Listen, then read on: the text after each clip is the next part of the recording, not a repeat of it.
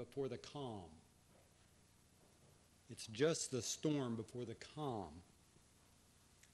We've been absent from the Gospel of Matthew for some time with the holidays, and I'm glad to be back in the regular routine of studying and uh, teaching from the Gospel of Matthew. And of course, we read earlier in the verses that we're going to be studying is the eighth chapter, verses 23 to 28. In our text this morning, the Lord and his disciples had gotten into the boat, and they weren't too long in it, and they found themselves in a terrible storm.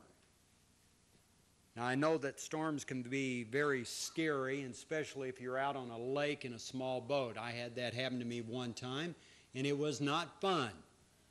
And uh, I, I have to be honest with you. I knew the Lord as my Savior. I knew if I drowned, I'd be with Him in heaven but I was not looking forward to drowning, so I was a little bit scared.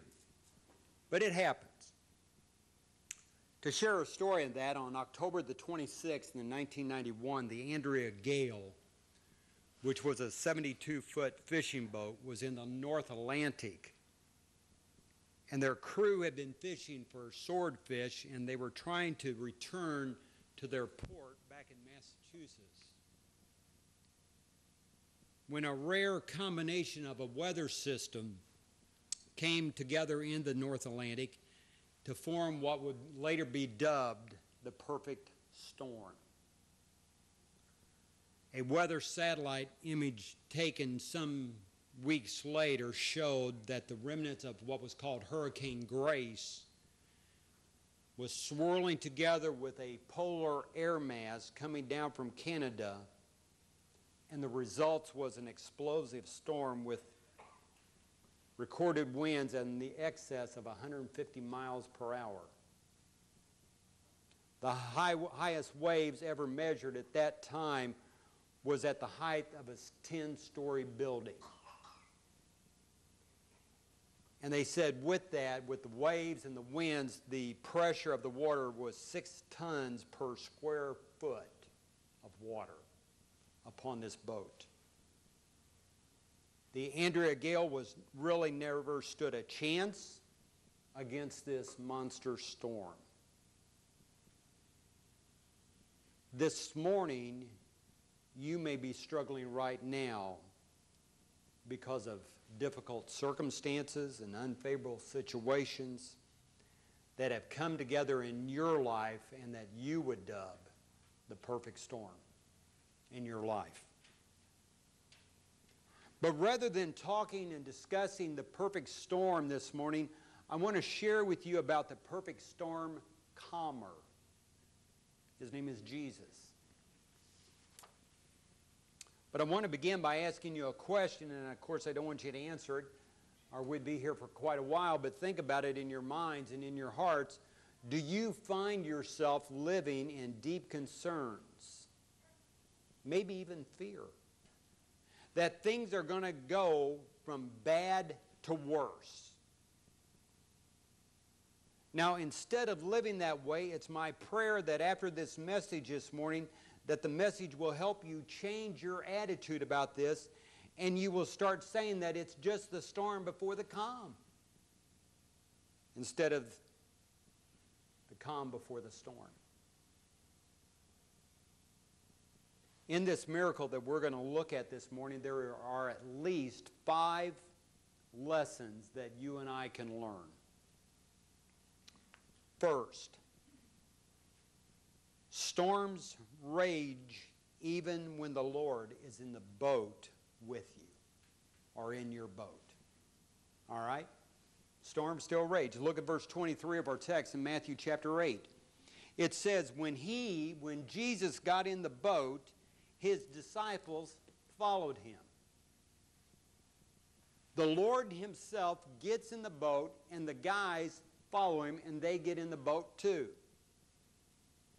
Now let's remember that the Sea of Galilee is actually a freshwater lake about six miles wide and 14 miles long, and according to some, it's about 600 feet below sea level.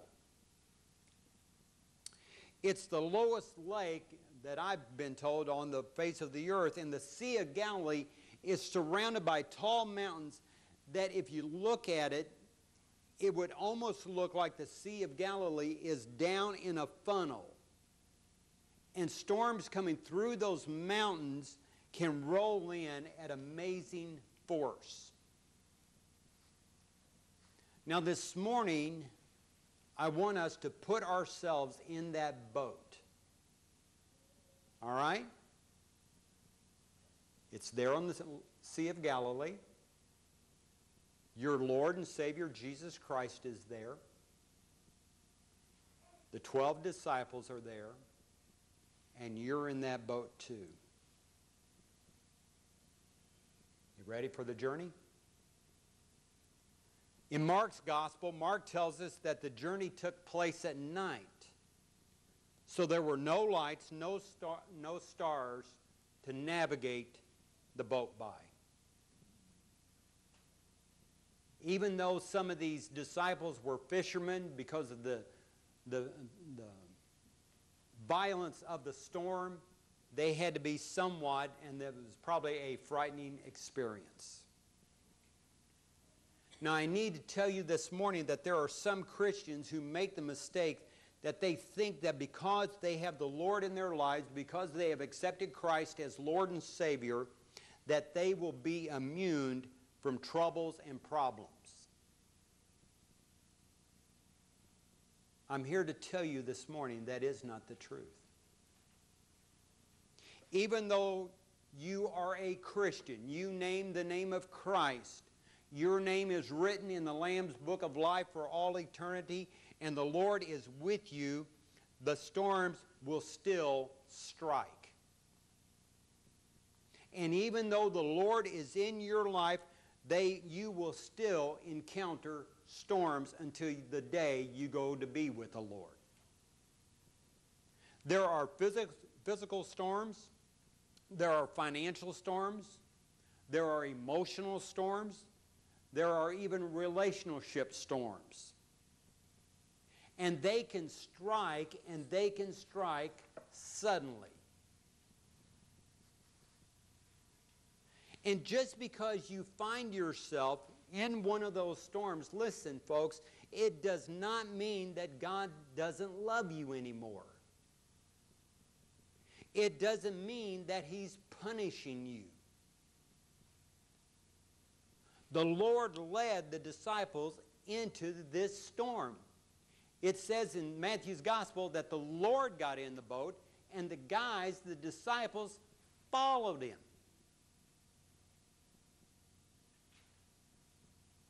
So don't be surprised, beloved, when storms come upon you. Peter tells us over in 1 Peter chapter 4 and verse 12 this. He starts out, he says, Beloved. What he's trying to do, and I've told you this before, what he's trying to do, he's trying to get your attention. He wants you to quit thinking about what you're going to have for lunch today. He's trying to get you to quit thinking about what you're going to do this afternoon. He wants to draw your attention about what he's going to say to you. And here's what he's going to say to you He says, Do not be surprised at the fiery ordeals among you, which come upon you for your testing, as though some strange thing were happening to you. It's going to happen. It's going to take place. The Word of God isn't a feel good book about people who lived a perfect life. If that was true, I, am not going to talk for you, but I'll talk for myself. If that was true, if the Bible was a, a book, a holy book written by perfect people, I could not relate to it. I don't know about you, maybe you could, but I couldn't because I'm not perfect. And I don't live a perfect life. It's a volume tracing the lives of hundreds of people who struggle with pain and suffering, and yet they maintain their faith in God. But even then, you know what? Some of them, their faith faltered. So if you're one of those believers and your faith has faltered, don't feel like you're the Lone Ranger. It's happened to others in Scripture. Just bounce back and get with other faithful believers. Now, this morning, there are three kinds of people here this morning and listening to this message this morning. Number one, there are those who have gone through a storm. You've just gone through it, you've weathered it. And maybe you even took a big, deep sigh and you said, Thank you, Lord, that's over. Number two, there are those who are in the middle of the storm, just like the disciples. And everything around you is twirling and swirling around you. Now, if you say, well, I haven't gone through a storm yet, and I'm not in the middle of one, well, then maybe you're in the third category. There are those who are about to go into the storm. Okay? You're either going into it, you're in the middle of it, or you just got out of it. So don't be surprised when the storms roll into your life. Expect it. Know that they're coming. Number two, or second, storms create fears that can cause more damage than the actual storm itself. When the dis- disciples cried out to the Lord, he said, Why are you afraid, you men of little faith? Now, see, the disciples, and sometimes you and I, we fight two storms. And these guys were fighting two storms that night. One was the visible storm on the outside. They saw the waves, they felt the wind. They even saw the water in the waves coming over the boat. But they were also fighting an invisible storm, and that was that storm of fear. And it was raging in their minds and in their hearts. And many times, fear can cause more damage than the thing that you fear yourself. I remember one time I, I had this fear, this inner fear that I was going to die. And I was going to leave my wife and my daughter, and I was going to be dead. Now, I love my wife and my daughter. But then I had to finally come to the conclusion that if I die, as much as I love them to, I'm in a better place. And if they belong to the Lord, which I knew they did, God would provide for them and meet their needs. So I thought, you dummy, what are you fearing? Death. If death comes, it means I'm just with Jesus. So I quit fearing. When President Franklin Roosevelt delivered his first inaugural address in 1933, if you've studied history, you'll know that we were in the grips of the Great Depression. We were possibly going to enter another world war. Things did not look good on the home front. And within the first few minutes of his speech, he said this, and I want to quote him. He said, This great nation will endure as it has endured, will revive, and will prosper. And then he continued, he said, So, first of all, let me assert my firm belief that the only thing we have to fear is fear itself. And then he continued. He said, nameless, unreasoning, unjustified terror, and I like this part. He said, which paralyzes. And what does fear do? It paralyzes you, doesn't it? It keeps you from doing that thing that you know God wants you to do, that God has ordered you to do. But when fear creeps in, it paralyzes you from doing that. He went on to say needed efforts to convert, retreat, and to advance. End of quote. There was truth in his statement. If you're fighting against the storm of fear, let me share with you this morning, and please listen to this. God has a word for you. If you have fear in your life right now, I want to share with you a word from Almighty God. It's found in the book of Isaiah, chapter 41, verse 10. Listen to what is said. He says, Do not fear, for I'm with you. Do not anxiously look about you, for I am your God. Now, he could have stopped there, and that would have been great. Amen? I mean, goodness. God says, Do not fear, for I am with you. Do not anxiously look about you, for I am your God. But he doesn't stop there, he continues. God says, I will strengthen you. Surely I will help you. Surely I will uphold you with my righteous right hand. Beloved, if you have any fear in your life, I want you to highlight Isaiah 41:10 and go home and read it. Read it this afternoon, read it Monday, read it Tuesday, read it for the next week. And live by it.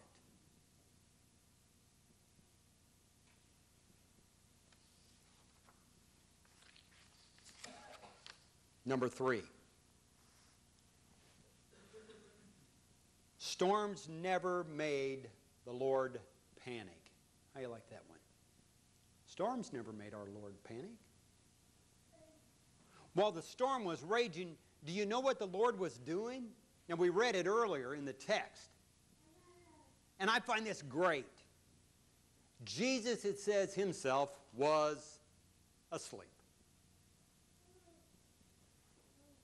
I love that picture. The waves were crashing in on the boat. It even says that the waves are coming over the boat, they're covering the boat. The wind was howling.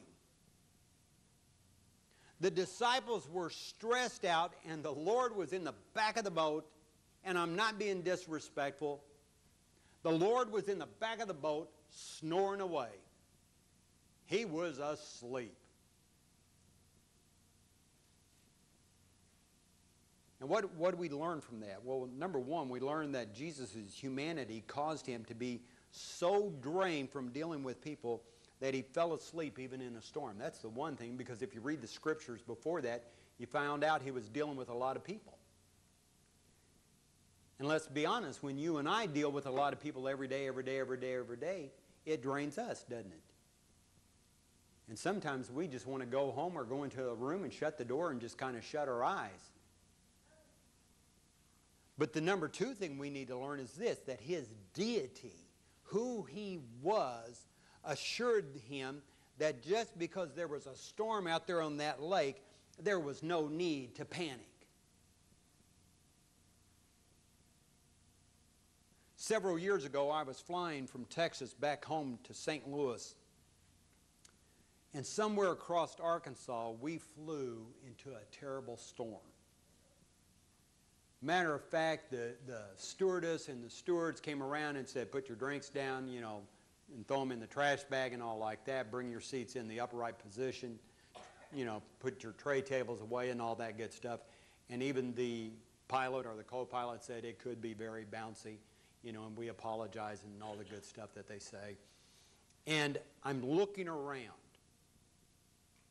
and I see fear on the face of some of the pastures. Now, I'm in the back, and, and, and I'm on the left hand side of the plane.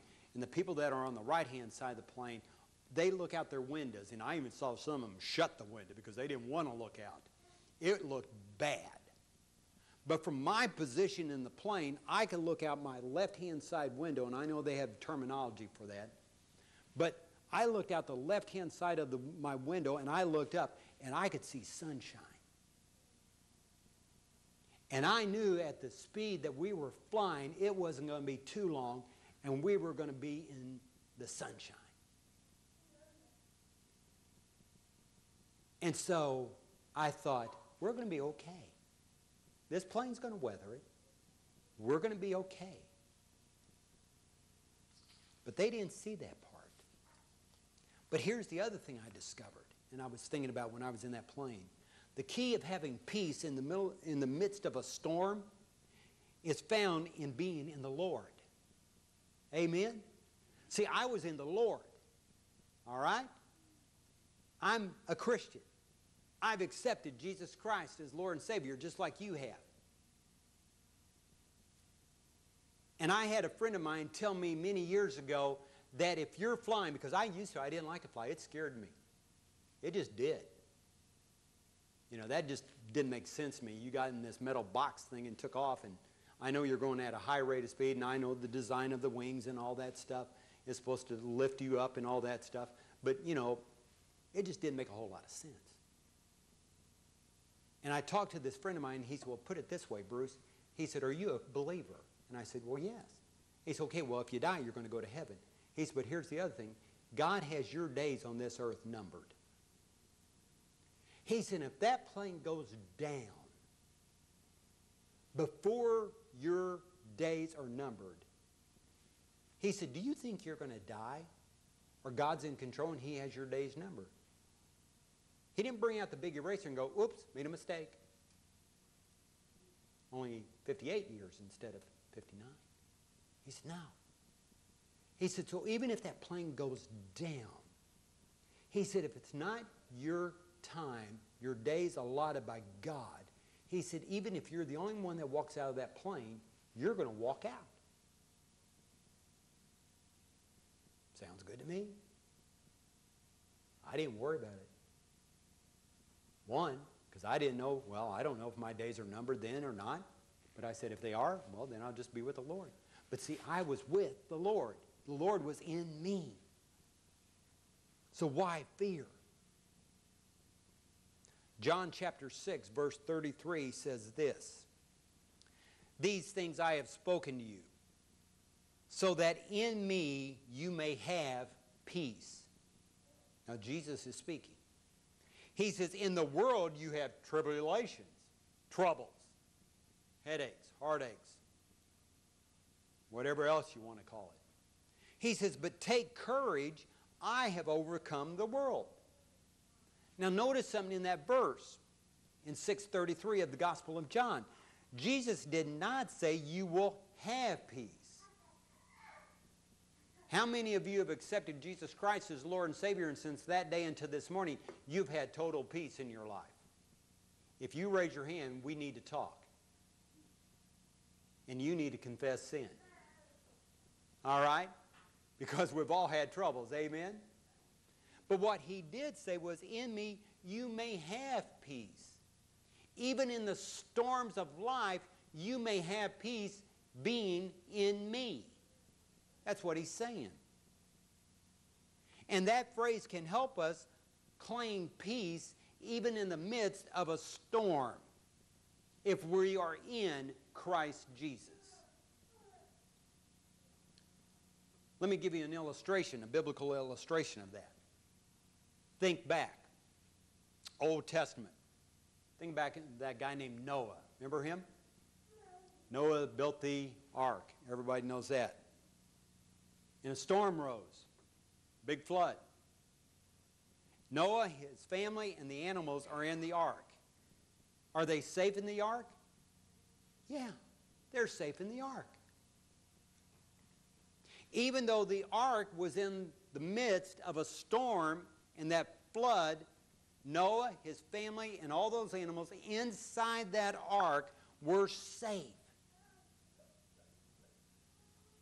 Let me bring it to us. If you are in Christ, you're a Christian. You will be safe even if you are in a storm because the Lord is in the storm with you. Amen? Amen. Yeah. So why fear? There's no need. Number four storms force us to cry out to God for help. Now, let's remember, let's go back. You're still in the boat, right? There's Jesus. He's back there sleeping. You got Peter, James, and John, and all the rest of them up there, the 12, and you're there in the boat with them. Remember that some of these disciples were fishermen. And they had grown up on this lake fishing it in what? Boats. And they probably did everything they could to, to survive the storm. They trimmed the sails. They turned maybe the boat into the wind. And maybe some of them who weren't fishermen, maybe they started bailing. You need those guys too. And finally, they get to the point that is called POTD. POTD, the point of total desperation. Okay? They give up. These fishermen have done all that they know how to do. The guys that are bailing are just bailing that because that's all they know to do. And they finally give up. And they cry out, Lord, save us. We're perishing. Lord, save us. We're going to drown. That's a prayer. And that's a very simplistic prayer. It wasn't some flowery prayer. It was just straight to the point. Lord, save us. Maybe you're in a storm right now that you're at the POTD point where you just cry out to God and say, Lord, save me. I don't know what to do next. That's when the Lord steps in. You should have cried that out at the very beginning and not waited. Amen. Now, most of us, we'd rather avoid the storm altogether. I'm sure Peter and James and John and those guys would have too. But see, hear, hear me out. God allows storms to come in our lives, in your life, in my life, for the same reason that He did in Peter, James, and John, and Andrew, and all the rest of them. And that was to teach them, and it's to teach us that He is powerful enough to calm the storms in your life. And He's probably got you going through a storm to teach you something about yourself and about Him. Now, most of us who've read our Bible knows Romans chapter 10 and verse 13. That verse says, For whoever will call upon the name of the Lord will be saved. Now, most of us think that that only applies to your initial salvation experience, right? That's what we share with people. But that is a promise, not just dealing with the initial salvation plan. That is a promise that we can claim daily every time we find ourselves in a storm of suffering and we can call upon the name of the Lord to save us and to deliver us. How you like that? Another verse to write down. Romans 10 13. Listen to what that sweet singer of Israel, David, wrote over in Psalm 34, verses 17, 17 and 18. He says, The righteous cry, and the Lord hears and delivers them out of all their troubles. The Lord is near to the brokenhearted and saves those who are crushed in spirit. Let me ask you a second question this morning. Do you qualify? Is your heart broken? Or is your spirit crushed? then listen to me. Call upon the Lord. Call upon the Lord, and He will deliver you from your troubles. Now, it doesn't mean that He's going to make them go away, but He will deliver you from your troubles. He will see you through it. But you have to call upon the name of the Lord. Amen? Now, the fifth lesson. And I like this. Storms still surrender to the power of God. That's a powerful God. Amen? What kind of storm? Any storm. They still surrender to the power of God. Look at our text, Matthew chapter 8. Look down at verse 26. And he said to them, he looks at his disciples, they wake him up. He's finally getting some rest. Remember, you're in the boat? Jesus has been dealing with all kinds of people with all kinds of problems, and he's kind of worn out because let's remember, he's human, right? And he lays back in the back of the boat and he falls asleep. And you wake him up, you're part of the crowd that wakes him up. And he said to them, Why are you afraid? you men of little faith. After it says, he says that, the Bible tells us, Matthew tells us, then he got up, and look what he did. He rebuked the winds and the sea, and it became perfectly calm.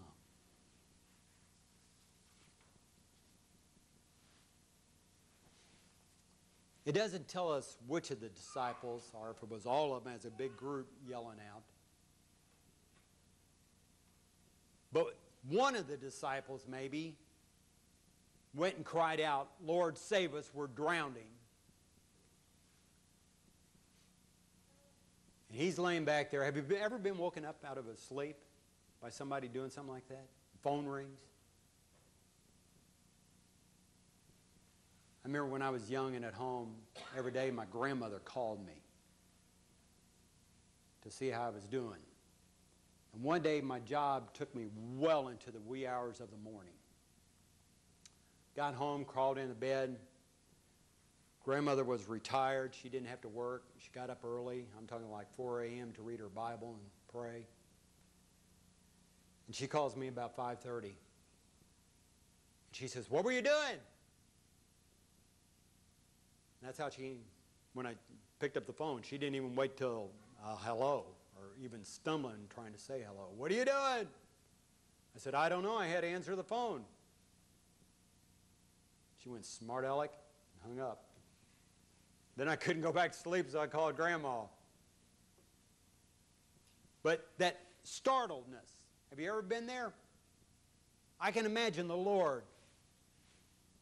What? He's waking up from the sleep. What? You're going to drown. No, you're not going to drown. Why not? The storm calmer's in the boat. See, when they got in the boat, he didn't say, let's go and get in the middle of the lake and drown. He wanted to go to the other side. Amen. And I can imagine the Lord moving to the side of the boat, standing up. The fierce wind off that lake is whipping through his hair. Lightning is flashing around him. Thunder is crashing. Maybe even at this point, the water that's pounding waves over the boat has soaked his clothes. And in Mark's gospel, Mark records that the Lord uses a word that a parent would use to reassure a troubled child.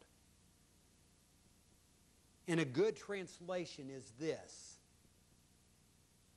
Hush. Now calm down. How many of us as parents have done that to our kids when they were little and they have awoken from a bad dream? And you've gone in there. And you've said, Hush, it's okay now. Calm down. That's what the Lord was saying. And the storm vanished instantly. The Word of God says that it became perfectly calm. Now, I know some of you may think, well, Pastor, listen, all storms eventually end.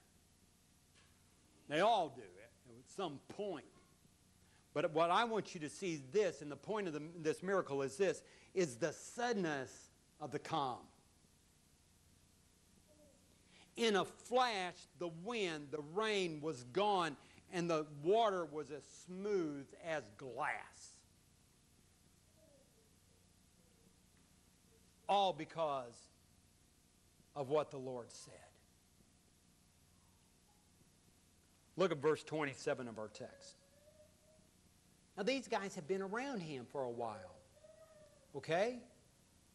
Peter, James, and John, and, and, and all the rest of them, they've been around him. And when they saw this in verse 27, it says, And the men were amazed and said, What kind of man is this? And that's a question that I believe each person must answer for themselves. What kind of man is this Jesus? Who is he?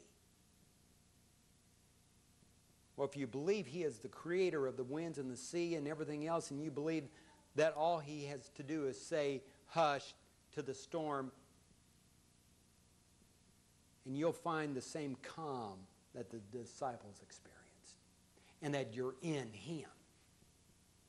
You're in the boat with him.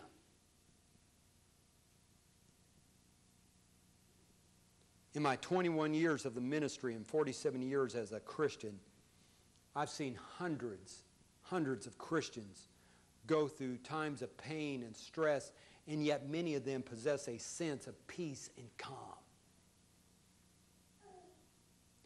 that I would describe as being beyond human understanding. And you've seen them too. You may have been one of them where it seemed like the perfect storm was upon you. And to the human point of view, there was no way out of this. You were going to drown, according to the experts. But you're going through life with perfect peace and calm in your life.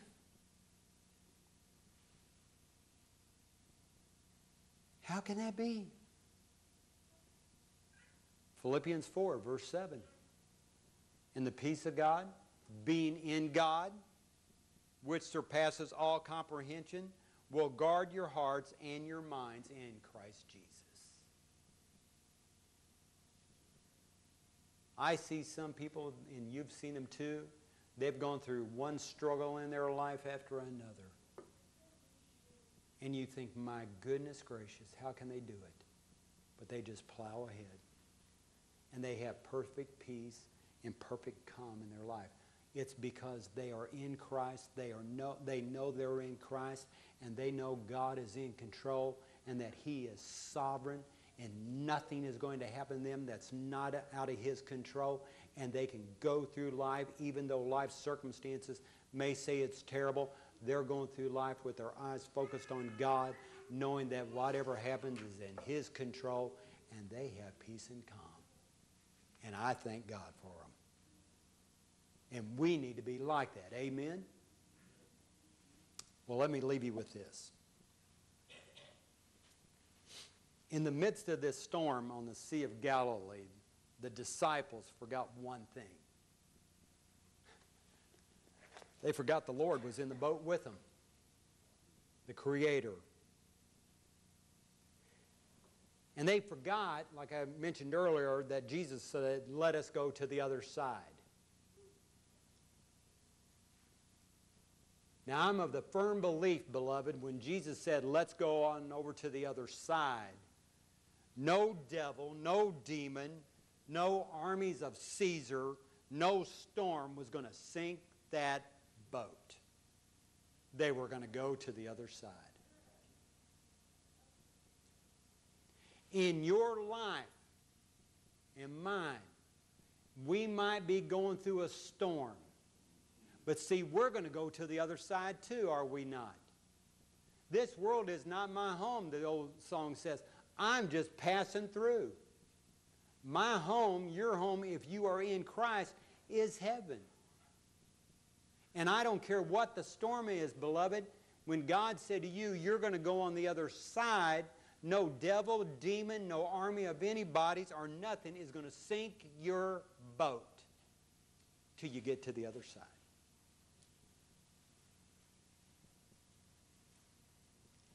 The Lord has promised his followers, followers that we will make it through the storm. Paul the Apostle writes in Philippians chapter 1 and verse 6 this. He says, For I am confident of this very thing, that he who began a good work in you will perfect it unto the day of Christ Jesus. Paul says, I've got all the confidence in the world. Who began a good work in you, beloved? God did. And He's going to see it all the way through to the day that you go to be with the Lord. If the disciples had just trusted His word, they would not have been afraid of drowning. Now, here's the application for you and me.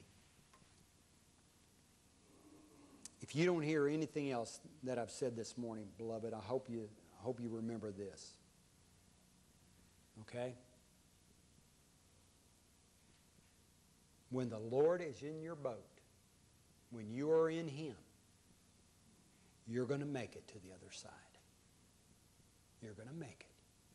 No matter what the storms of life are, you will make it.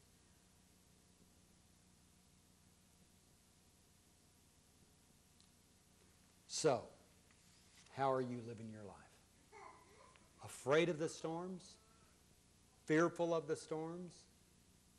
Crying out to God, Lord, save us, I'm about to drown? Or are you knowing in your heart that you are in God and you are going to make it to the other side?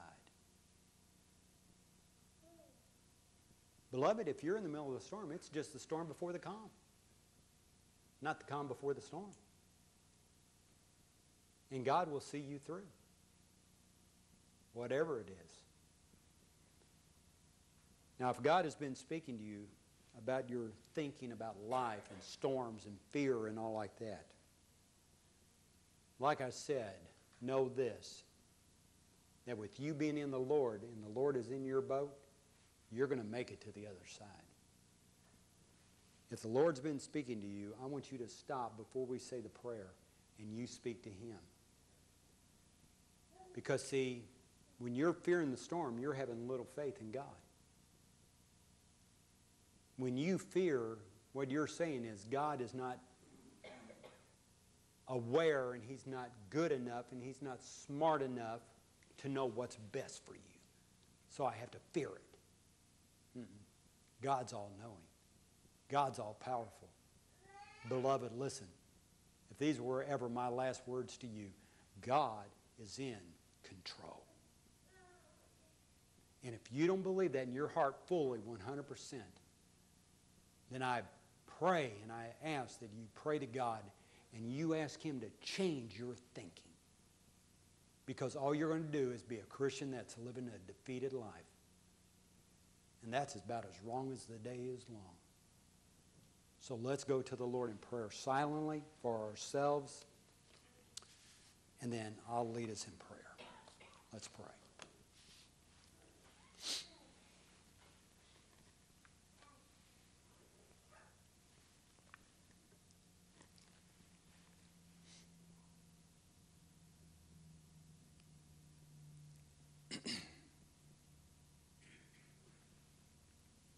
Father God, we come to you. And we ask, Father, that you forgive us of our sins of living a life of fear, of living a life of thinking that it's just going to get worse.